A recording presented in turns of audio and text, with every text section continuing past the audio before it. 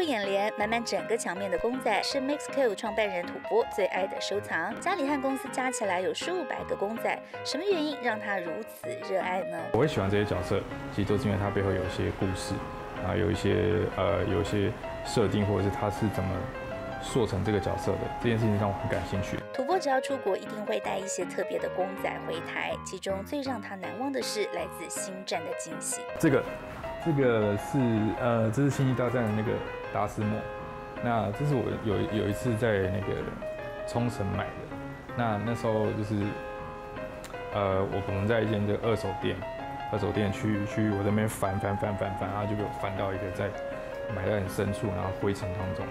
然后把它挖出来，就看到好像找到宝一样。后来发现它的头是可以打开的，那头打开里面其实还有一只呃全小的全身的一只达斯摩，所以我就看是会有这种好像买一送买一送一的感觉。除了大男孩的玩具，另外一位创办人 KG 则是靠着植栽来舒压。因为我个性比较急，所以我想找一个慢一点的东西来。让自己可以缓下来。装设灯光日晒，每日洒水，日复一日，甘之如饴。只在乎公仔，忙碌的工作之余既舒压，也能在其中得到些许领悟，是踏实、微小却满足的人生之乐也。记者田尼金敏怀、张世泽采访报道。